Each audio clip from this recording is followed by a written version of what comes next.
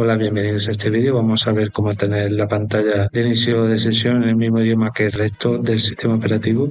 Clic derecho sobre el logo de Windows y luego ya clic izquierdo sobre configuración. También puedes pulsar Windows más y al mismo tiempo. Vamos a ir a menú. Hora idioma. Idioma y región configuración de idioma administrativo, copiar configuración.